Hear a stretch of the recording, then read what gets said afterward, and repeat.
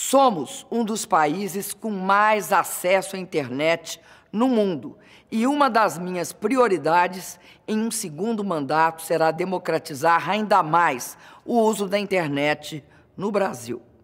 Durante a campanha, vou poder detalhar minhas propostas nesta área, sendo a principal o projeto Banda Larga para Todos.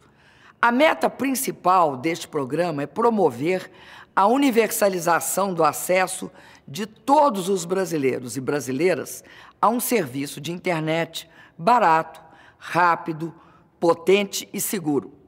Mas ele será muito mais que isso, porque vai estimular também a expansão da infraestrutura de fibras óticas e equipamento de última geração. E o uso da internet como ferramenta de educação, lazer e instrumento de participação popular, em especial nas decisões do governo.